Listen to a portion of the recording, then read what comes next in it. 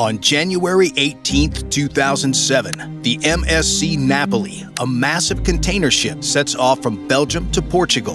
The captain expects nothing but smooth sailing on this familiar route. But little did he know, Mother Nature had other plans. While going through the English Channel, they hit Cyclone Kyrill, a beast of a storm with 10 meter high waves. The ship was tossed around, and all of a sudden, the ship broke near the engine room. The captain quickly sends an SOS and everyone rushes into lifeboats. They're out at sea, surrounded by towering waves, waiting for hours for rescue. It's a race against time and nature.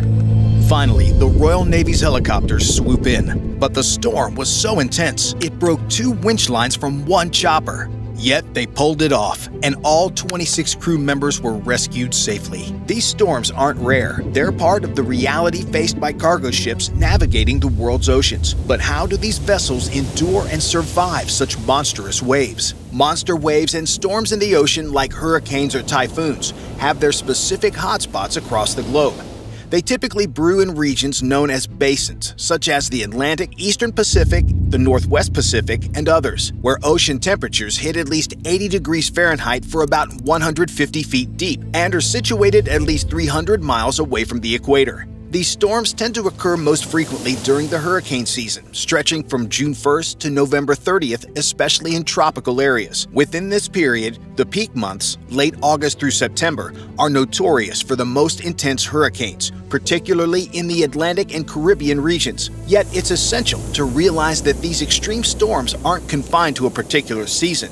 They can strike unexpectedly at any time of the year. Now, the intriguing part is how these enormous cargo ships manage to navigate these treacherous waters. Despite waves that could tower above 100 feet, these vessels have specialized technologies and mechanisms to stabilize themselves, ensuring they don't capsize or succumb to the immense forces of the sea. Cargo ships facing monstrous waves rely on specialized systems to maintain stability and safety amid treacherous conditions. These systems are designed to counteract the immense forces of the sea and prevent the ship from capsizing or experiencing severe rolling motions. One crucial system is the implementation of anti-rolling tanks strategically placed on the vessel. These tanks function by altering the ship's response to rolling motions.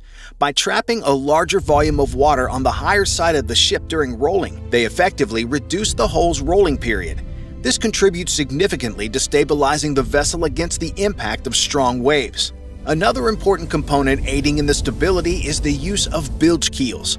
These keels, often deployed in pairs along the ship's sides, help reduce the ship's tendency to roll. By increasing hydrodynamic resistance against rolling, bilge keels mitigate the impact of waves and contribute to a smoother sailing experience.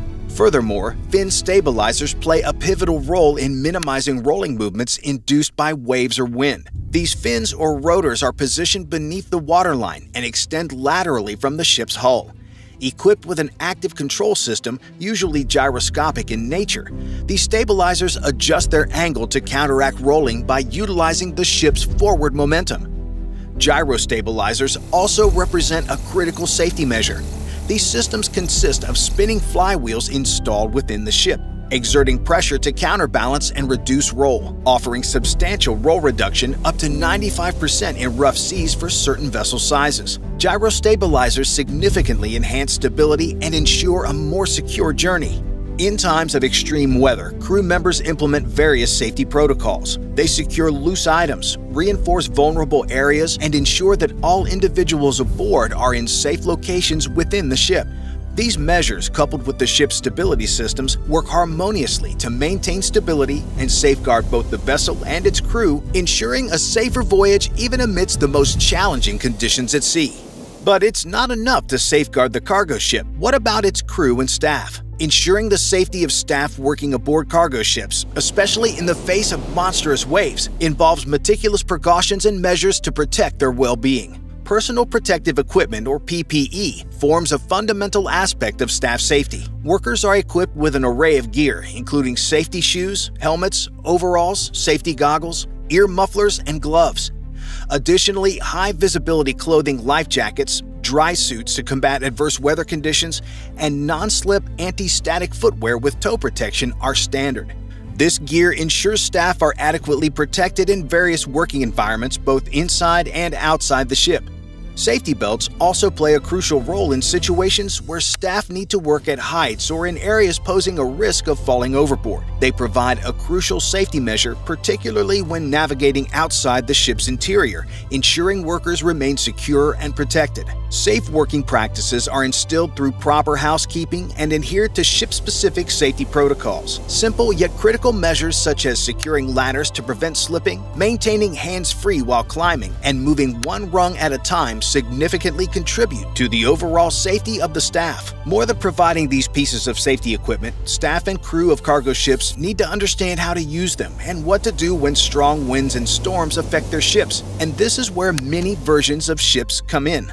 Ship companies employ meticulous testing procedures to prevent potential disasters, ensuring ships are thoroughly evaluated before construction begins. Miniature scale models play a pivotal role in this process, enabling engineers to scrutinize a ship's performance under various conditions. The process starts with the creation of a physical model, a scaled down version of the ship based on the virtual prototype. These models allow engineers to estimate and analyze critical parameters before actual construction begins. These models are put through rigorous testing in specialized tanks. Initially, they're towed in a towing tank to measure resistance and estimate how the full-size ship will perform in motion. Later, these ships are subjected to larger wave basins where artificial waves are generated to simulate real sea conditions. Sophisticated systems measure fluid velocities around these models, capturing detailed flow data crucial for understanding how the ship interacts with different wave patterns. These tests offer insights into various aspects of the ship's behavior, from its stability characteristics to how it maneuvers and withstands rough seas.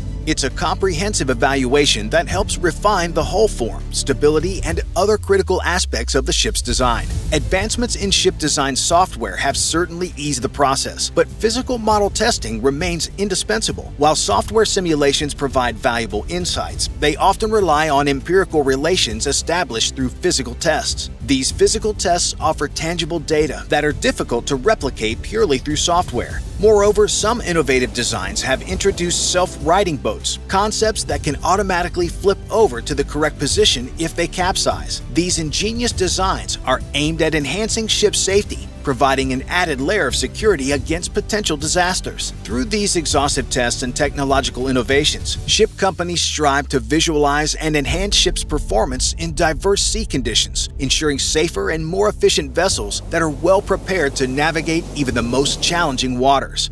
The pursuit of innovative solutions in maritime safety continues to drive the deployment of technologies aimed at mitigating disasters at sea. One significant advancement is the concept of self-righting boats, designed to autonomously return to an upright position even from extreme inclinations of up to 180 degrees. These boats utilize principles of buoyancy and stability when external forces such as heavy winds or waves cause the vessel to heel. The underwater section generates a buoyancy force that rolls the boat back to its original position. While explicitly mentioned for lifeboats, this technology is fundamental for all seafaring vessels, potentially including cargo ships. In the world of cargo ships, projects like Roboat aim to develop autonomous vessels adaptable for various purposes, potentially including cargo transportation. While explicit mention of self-righting technology in cargo ships is not prevalent, the underlying principles are integral to ship design and safety. For lifeboats, the self-righting feature is pivotal. Many lifeboats possess the ability to self-right, achieved through a balance between weight and buoyancy. This enables them to return to an upright position regardless of how far they've tipped, ensuring crew safety in emergency situations. Moreover, satellite technology plays a crucial role in enhancing maritime safety. Satellites collect real-time data about sea conditions, including wave height, direction, and frequency, which is transmitted to ships at sea. This data allows outboard computers to predict the ship's motion in response to the incoming waves. Crews can then take evasive actions, altering course or speed as needed. This technology surpasses traditional observation methods, providing accurate warnings of dangerous wave conditions and enabling ships to avoid risky areas entirely. Additionally, this satellite technology doesn't just contribute to safety, it optimizes routes for fuel efficiency. By avoiding rough seas, ships maintain consistent speeds, reducing fuel consumption. However, despite these advancements, instances persist where technological innovations aren't always capable of averting disaster. One such case involved the Golden Ray cargo ship. The Golden Ray cargo ship capsized off the Georgia coast in 2019, resulting in more than $200 million in damage. The National Transportation Safety Board found that the capsizing was caused by incorrect calculations about the vessel's stability. Despite the technological advancements, human error in entering ballast quantities into the stability calculation program led to the ship having less stability than calculated. The operator of the ship also had no procedures to verify these calculations, so the ship sailed without meeting stability requirements. Continued research and technological developments aim to bridge these gaps, striving for enhanced safety measures that mitigate risks and safeguard both vessels and crew in the face of maritime challenges. Navigating monster waves presents a daunting challenge for cargo ships, but with the right team and advanced systems in place, these vessels can safely traverse even the most dangerous seas. The combination of dedicated crews trained in safety protocols and cutting edge technologies, from self righting capabilities to satellite assisted wave avoidance, ensures a safer voyage for both ships and their valuable cargo. Despite the intimidating nature of these maritime conditions, the resilience of these ships, bolstered by skilled crews and innovative systems, assures that the cargo reaches its destination securely. The journey through these monstrous waves becomes not just a testament to human ingenuity and perseverance, but also a testament to the collaborative efforts ensuring safety at sea. Bye for now.